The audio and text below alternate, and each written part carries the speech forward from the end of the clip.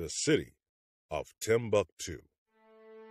Now, the great city of Timbuktu was located in western Africa, eight miles north of the Niger River in modern day Mali. By 1100 AD, the central city was constructed by the Africans of the region, which included the Mandinka people, Songhai people, and the Tuareg people. Timbuktu was a center of scholarship under several African empires. The city rose to become one of the premier centers for knowledge and trade in the continent of Africa, and indeed the world at that time. Timbuktu also became a well known center of Islamic learning and was the location of the University of Sankore Mosque, where scholars and students came to learn the Quran and Islamic theology, as well as mathematics, medicine, law, and astronomy. In addition, Timbuktu was a major trading center within Western Africa and formed part of the flourishing trans Saharan trade routes. Salt from the Tagaza area in the north was sold within the city, as well as gold, which was mined from the region of Mali called Bambouk near the upper Senegal River. In addition, cola nuts from the forest of Akan were sold in the city, as well as grain and cattle from the south. Now, by 1235 AD, the Empire of Mali had been established within the region and took control over the city of Timbuktu. One of the kings of the Empire of Mali, named Mansa Musa, constructed one of his royal palaces in the city.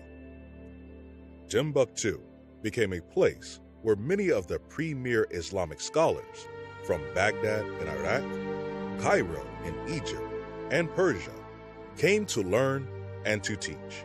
It was also home to several hundred thousand manuscripts.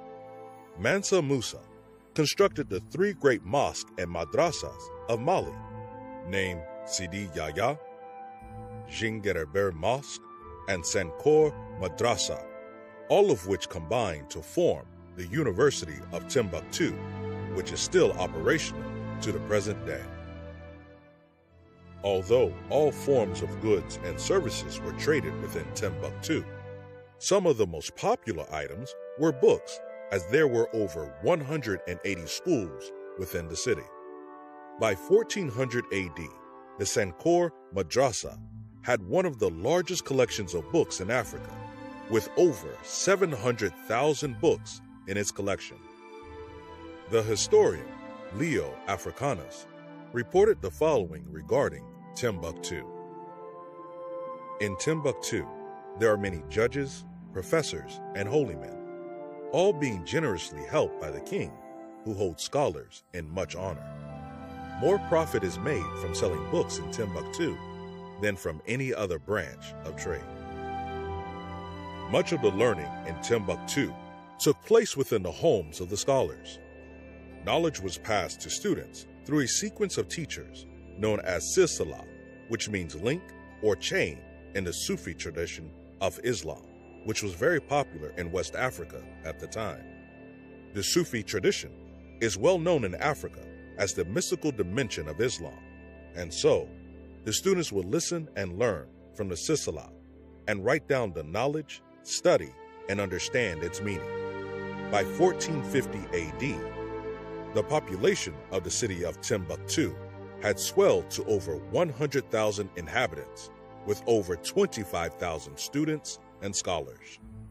Once the empire of Mali declined, the next great empire of West Africa, called the Songhai Empire, took control of the city.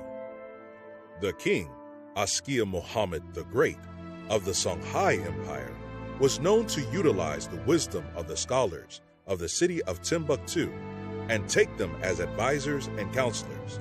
Under the rule of the Songhai Empire, the city continued to flourish, and Timbuktu still exists to the present day.